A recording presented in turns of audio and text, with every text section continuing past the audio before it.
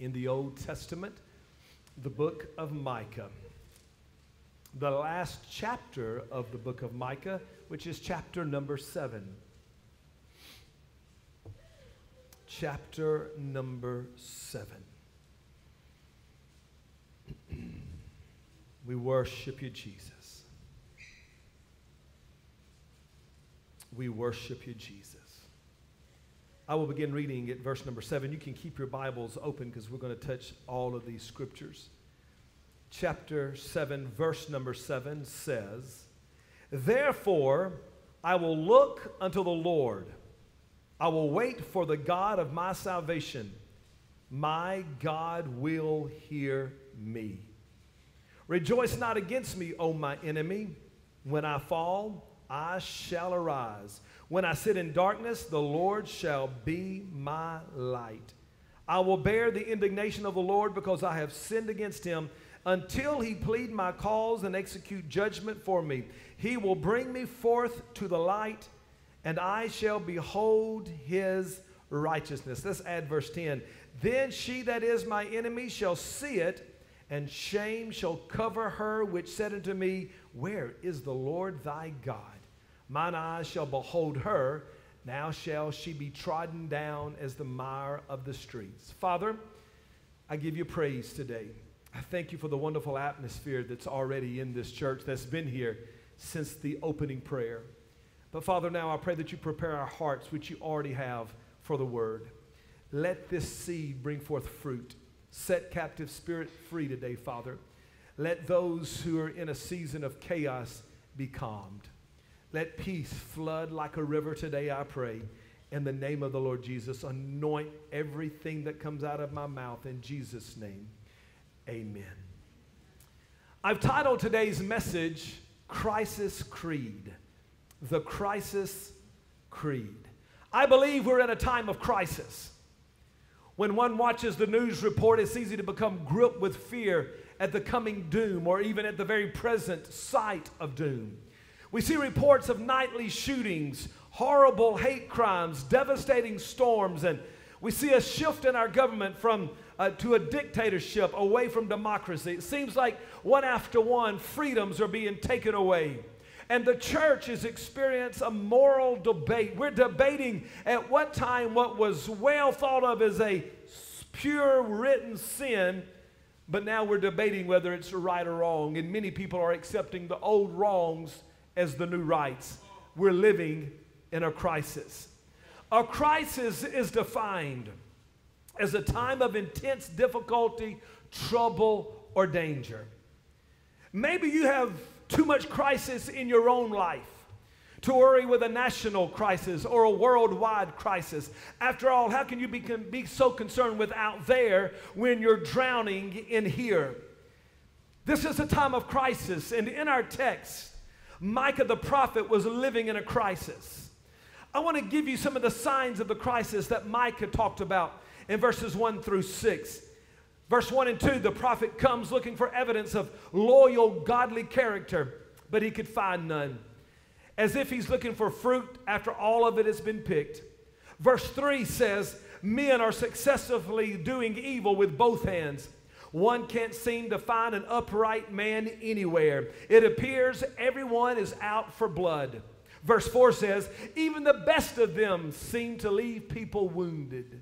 The punishment has been predicted by the watchman. Verse 5 says, Be careful, even your closest friends.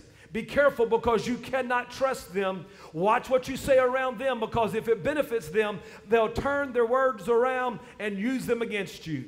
Verse 6 says, There's division among families. The old saying, blood is thicker than water, oh, that's no longer. That no longer applies. Son is against father, daughters are against mothers. And during this season of crisis, sometimes the worst enemy is the enemy living under your own roof. Oh, church, this is a time of crisis, and it doesn't take much explanation to relate the old words of the minor prophet Micah to explain the current crisis of today. Therefore, I will not waste time trying to convince you that we're living in a crisis because the evidence is all around and the prophetic scriptures are laying right before us. We're in a crisis. However, this morning, there's still hope. During Micah's crisis, he developed the crisis creed, which I want to explain in detail today. And let me start by saying, look up, things are going to get better. I know you're surrounded by a cloud of smoke and fog from the bombs that are exploding in your life, but God is still God. You still have breath in your lungs, so don't you give up, but rather call on the name of the Lord Jesus. He still has the power to save you. Oh, we may be surrounded by a great cloud of crisis, but Hebrews chapter 12, verse 1 tells us we're also surrounded by a great cloud of witnesses. Therefore, let us throw off everything that hinders us and every sin that entangles us so that we can run with perseverance and we can run the race marked out for us. I choose this morning to be inspired and encouraged by the witnesses of heaven that's already made it through, and they're here to encourage me to keep on pressing. I, I desire, I decide to endure to the end because I want to be saved. And I want to be delivered. Amen, somebody.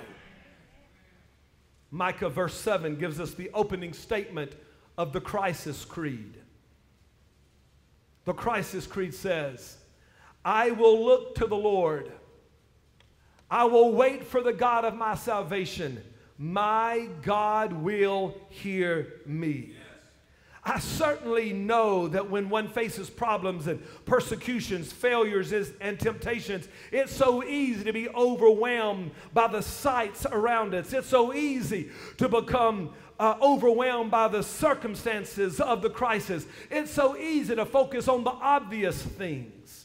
It's obvious that I'm hurting. It's obvious that I've been wounded. It's obvious that I failed. It's obvious that my marriage is falling apart. It's obvious that I'm out of money. It's obvious that I'm depressed. Listen, can I challenge you today? Stop looking at the obvious and realize in all your junk, God is still right there. He's not left you, He's not forgotten you. He's still in your darkness.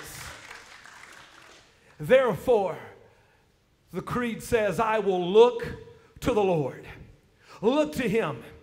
It may not be apparent, but he's there. Get your eyes off your circumstances and look to the author and the finisher of your faith. Look to Jesus Christ. Look up, church. Your redemption draweth nigh. I know it looks like we're all going to hell in a handbasket, but God's got a remnant that He's raising up out of the basket of destruction, destruction, and He's setting our feet on a solid ground, and He's going to make everything all right. Just look up. Jesus is still coming. Ah, in a time of crisis, you have to learn to wait. I will look to the Lord. I will wait for the God of my salvation. Isn't that probably the hardest thing for church folk to do? Matter of fact, isn't that probably the hardest thing for worldly people to do? To wait. Every problem is not fixed overnight. I wish I could tell those that were in the altar this morning and those that I anoint with oil and lay hands on at the end of the service. I wish I could say, all right, go home. It will never be an issue. Sometimes that is the case, but sometimes God's going to take you through a maturing process. A baby doesn't go from a baby like Robin's holding to being a teenager. There's a process of growing and maturing to be able to handle what is a teenager. And a teenager doesn't go from River, who's mindless, to a 35 year old that's finally got wisdom. No, no, no. It's a process of training training and a process of maturing to finally know how to get to where you're going. But you got to be willing to wait. Go through the process. Psalms 27, verse 13 says, I remain confident of this. I will see the goodness of the Lord in the land of the living. Wait for the Lord. Be strong and take heart. Wait for the Lord. Isaiah chapter 40, verse 28 through 31. Do you not know? Have you not heard? The Lord is the everlasting God. He's the creator of the ends of the earth. He will not grow tired and he will not grow weary, and his understanding no one can fathom. He gives strength to the weary, and he increases in the power of the weak. Even youths grow tired and weary, and young men will stumble and fall. But those who wait and hope in the Lord will renew their strength. They will soar on the wings like eagles. They will run and not grow weary. They will walk and not faint. Before you can mount up and fly on the wings of eagles, you've got, and before you can experience the victory of the Lord, you must be willing to wait. Don't you give up. Look up and be willing to wait for the God of your salvation. You're not going to find anything better. You're not going to find anything more encouraging. You're not going to find a fix it quick scheme that's going to really fix your problems. So wait on the God of your salvation. And then the second, the third part of this creed says, My God will hear me. In order for him to hear you, you've got to call out to him. Just call on him and he will answer. He doesn't get frustrated if you keep calling. He doesn't get mad with you if you keep coming to the altar. He doesn't get mad if you keep shouting out, Jesus, Jesus, Jesus. Call out. He loves to hear your voice. He loves to hear your, his name whispered across your lips. Call out to him. Don't be afraid to call out.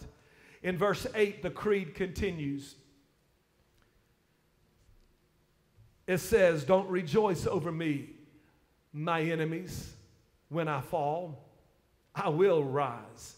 When I sit in darkness, the Lord will be a light to me.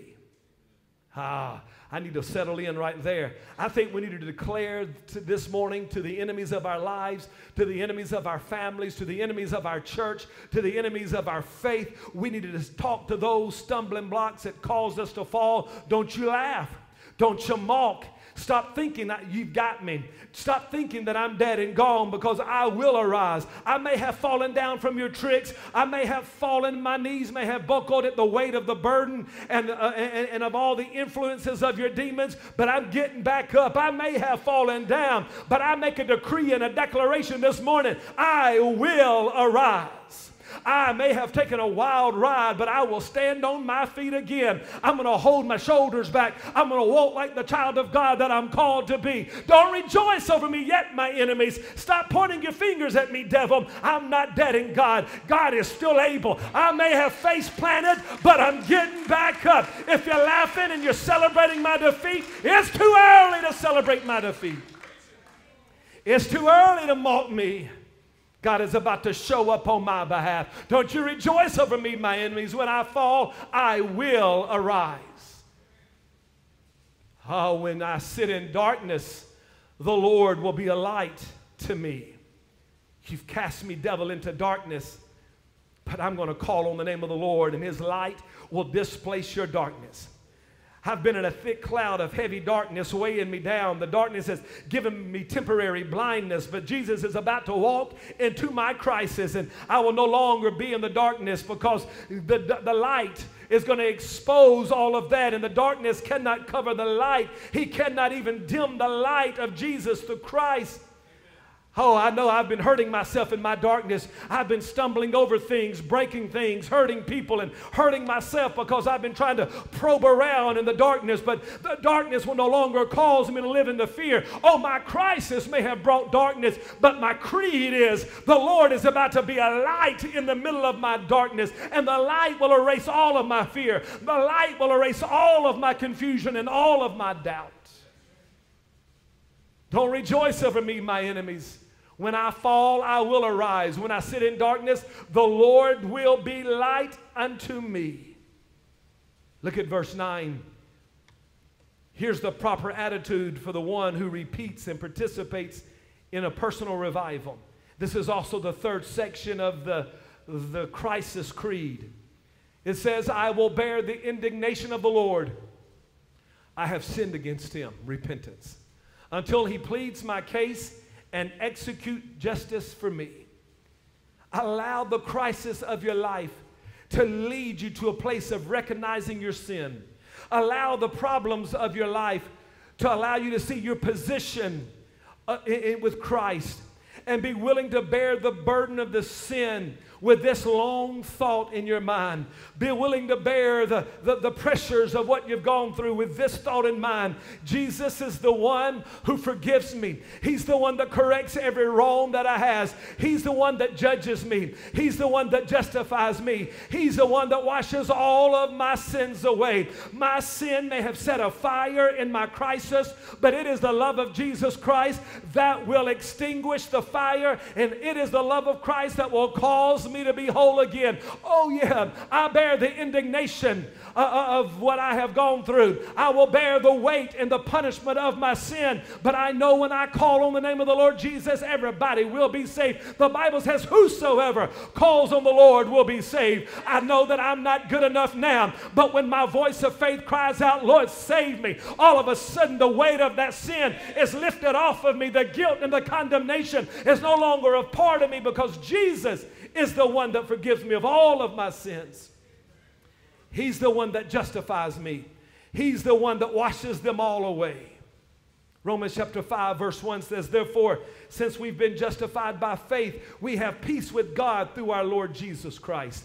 Verse 9 of that chapter says, Since therefore we have now been justified by his blood, much more shall we be saved by him from the wrath of God.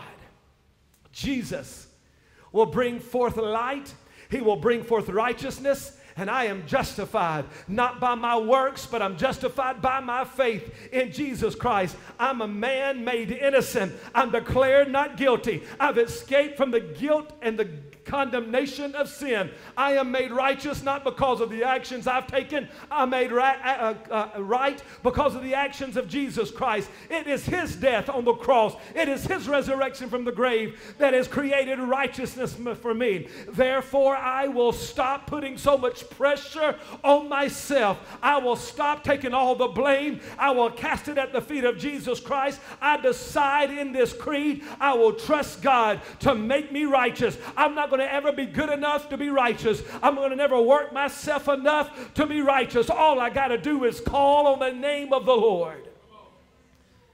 I will stop trying to work myself into a right relationship with Him. And I will trust God and He will perform His wonderful work. And out of that, I will work from my place of righteousness. I will love out of my place of righteousness. In my season of crisis, it has not dismissed God's power. And my season of crisis has not diminished God's authority. He's still God, and He can still do what God loves to do. He can erase my sins. Oh, my enemies, they may see me weak, and they may see me vulnerable now. They may see me in a place of fatigue, and they may see me in a place of failure now. Eh, eh, but shame is about to come on those I said, Shame's about to come to those who thought God had forgotten me. Shame is going to come on every enemy. Shame is going to come on every naysayer who told me God didn't love me and God didn't want me. That's what verse 10 says. Then that is my enemy shall see it, and shame shall cover his face. The enemies of my life are about to be embarrassed because they have told me there was no hope for me. They told me I'd never be victorious. They told me I'd never be able to preach. They told me I'd never be able to have a successful marriage. They told me my kids would never serve God. They about to be embarrassed because God's about to show up in my life. Somebody ought to join in and give God praise right there. Shame's coming on the naysayers. Shame is coming on my enemies because God's raising me from the ashes of despair. I'm coming out of the cave of darkness and I'm getting out of the mud puddle where the enemies tried to trample me down. You're about to see God in my life. Who said God is dead? You better step back. You're about to see the spirit of resurrection. Oh, yeah, I'm in a crisis. Yes, I'm in the middle of a problem. Yes, I'm in the middle of a situation. Oh, yeah, our country's in a crisis. Our world is in a crisis. The church uh, atmosphere is in a, in a crisis, but we ain't dead and gone, and there's still a God on his throne. And I'm declaring the crisis creed over Rising Fawn this morning. I'm declaring the crisis creed over my family. I'm going to declare the crisis creed over America. Therefore, I will look to the Lord. I will wait for the God of my salvation. My God will hear me. Don't rejoice over me, my enemy. When I fall, I will arise. When I sit in darkness, the Lord will be a light to me. I will bear the indignation of the Lord because I have sinned against him until he please my case and execute justice for me. He will bring me forth to light and I will see his righteousness. What's the results of these creeds? The result of the creed, look at verse 10. It says, Then she who is my enemy will see. Shame will cover her who said to me, Where's the Lord your God? My eyes will see her, the enemy. Now she will be trampled like mud in the streets. Listen, my enemy, the result of you calling out the creed of crisis is that the enemy will see and be ashamed. I don't know about you, but don't you like it when the enemy has to eat his own words? Don't you like it when the enemy told you how defeated you were and you're on the other side of that battle and you're victorious? Don't you like it when the enemy tells you there's no way God's going to provide for your need? And then you come through the need with more than you had and the need is met. Don't you love it when your enemy has to zip his mouth, tuck his tail, and run away because the husband that was never going to be saved is sitting there shouting victory louder than you are because the enemy, God is going to allow your enemy to see your victory. I will experience the will of, I will experience the thrill of victory, but the enemy will experience the agony of defeat. How my enemy will return to its rightful place under my feet. Matthew chapter 22, 24 says, The Lord said to me, Sit at my right hand until I put your enemies under your feet. Uh, let's look at verse 11. Let me add a little bit more. In that day, your walls are to be built. In that day shall the decree be far removed. My city has been in, destroyed. But when I declare the creed, the walls will be rebuilt. Walls of protection will once again skyrocket around my city. I will once be surrounded with protection. I will once be in the center of refuge and in the center of hope and the center of peace. The day of victory and the day of restoration are coming. Oh, my desolation will not last forever. Yeah, my walls have been destroyed, but when I declare this in the name of the Lord, I will live in a safe place again. I know that my life's been a wreck. And I confess that I've sinned and I've fallen short of the glory of God. I admit that I've made mistakes, but I also know there's more hope in verse 18 and 19. Look at verse 18 and 19. Who is God like unto thee that pardons iniquity and passeth by the transgression of the remnant of his heritage? He retaineth not his anger forever because he delighteth in mercy. All the result of the creed, God will pardon iniquity. He will pass over transgressions. You're a heritage. You, the remnant, are a heritage. He does not retain his anger forever. He delights in mercy. He will have compassion. I know you love to sin, but God loves to flow in mercy. He loves to operate in grace. Now, listen, that's not a reason to sin, God forbid. But if I fall in a crisis, I have comfort and hope that He will cast my sins away into the depths of the sin again. Thank God He has compassion and He will take my, my sins and cast them into the sea of forgetfulness. He will, verse 19, He will turn again. He will have compassion upon us he will subdue our iniquities and cast them, all of our sins, into the depths of the sea. Can I tell you? God does not use your sins against you. I know some wives, mine and probably yours don't, but I've heard in the world some wives will use something that happened 20 years ago when a fight happens. And, and even though that man's for, uh, uh, begged for forgiveness, pleaded for forgiveness, and made everything right, but when things go crazy, those sins of yesterday are brought back up and you got to relive them as if you never have repented of them. That's not how God works. No matter how horrible you've been in your past, God forgives. He loves you and He wants to be compassionate. Run to Him, Sister Nikki. Run to Him and trust Him. Run to Him and trust Him. We're living in a season of crisis personally, in our family. And maybe it is the seed of crisis brought on by my own immorality, brought on by my own sin. Oh, I know we're in a time of crisis, but I declare today, will you stand with me? I'm going to open this altar again, but before we're going to say this creed together. And I want you to say it out loud. Are you in a time of crisis? Is your family in a time of crisis? Micah prophetically laid out the plan for us to come through. Micah the prophet laid out the plan that God's going to have compassion on us. Oh, I know you're in crisis. I know the walls have been destroyed, but they're going to be built again. You're going to be in safety again. You don't have to die and go to hell today, no matter how bad your crisis is. He loves to flow in mercy, He loves to flow in grace. Before we come to the altar, will you raise your voice? And I want you to declare this. Everybody ready? Say it out loud. I will look to the Lord. I will wait for the God of my salvation. My God will hear me. Don't rejoice over me, my enemies. When I fall, I will rise. When I sit in darkness, the Lord will be a light to me. I will bear the indignation of the Lord because I have sinned against him until he pleads my case and justice for me. In Jesus' name, say amen. Now, you've made that declaration. Don't you think it's time for you to enjoy those benefits that I skipped over in a hurry to try to make sure I got out on time? You can enjoy the benefits of what you just declared over your crisis. Take those scriptures. Are you in a crisis in your family? Read those verses out loud in the morning and at night. Then add verse 10 and 11 to it so you can see the benefits of those crises.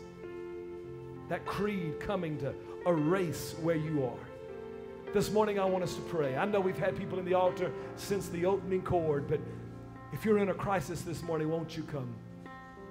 You're in a place and you just need help.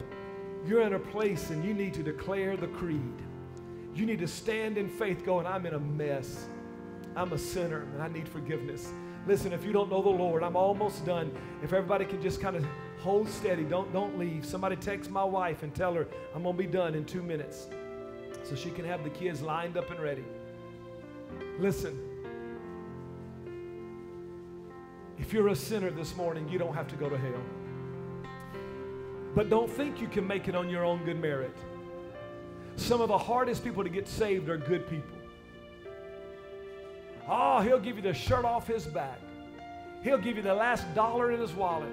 He's a good man, but is he saved? You can be a good man and still go to hell.